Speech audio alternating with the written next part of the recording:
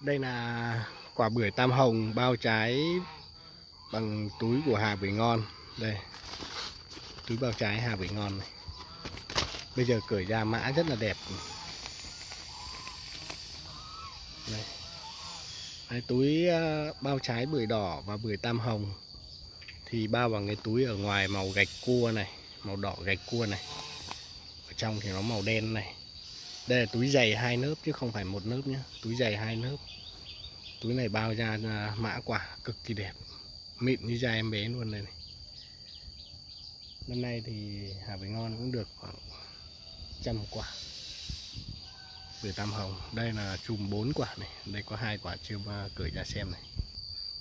Đây là trên cơ sở 2 của Hà bình Ngon gần nhà văn hóa xóm 3 thôn Nam Phú, xã Hòa Thạch, huyện Quốc Oai, thành phố Hà Nội.